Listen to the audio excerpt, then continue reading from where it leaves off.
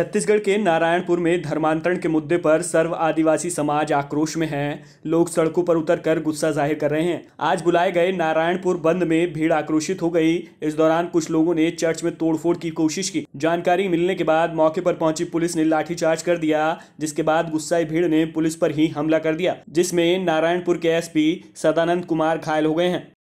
ज़िले के एक समुदाय के द्वारा आज यहाँ पे प्रदर्शन के के लिए प्रदर्शन की योजना बनाई गई थी। उसके बाद उस समुदाय के कुछ सदस्य उग्र होकर स्थानीय चर्च को को नष्ट करने की दिशा में बढ़े थे। लेकिन तभी पुलिस प्रशासन और जिला प्रशासन की वहाँ पे उसके अधिकारी की उपस्थिति में उन लोगों को समझाया गया। लेकिन समझाने के बावजूद भीड़ उग्र हो गई थी और फिर भी प्रशासन ने संयम से काम लिया और इस पूरे घटनाक्रम के दौरान ज़िले के एसपी साहब को सर में चोट आई है।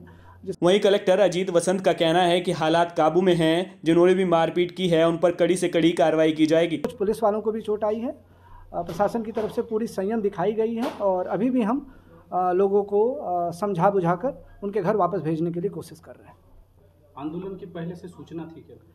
उनके तरफ़ से एक सभा करने की सूचना दी गई थी। आज सभा करने से पहले मेरे और एसपी साहब के द्वारा उस समाज के जो लीडर्स हैं, उनको कलेक्टर चैम्बर में बुला करके उनको समझाइश दी गई थी कि यह सभा शांतिपूर्ण होनी चाहिए और व्यक्तिगत रूप से उनसे बात की गई थी, लेकिन फिर भी ये घटना उसके बाद हुई।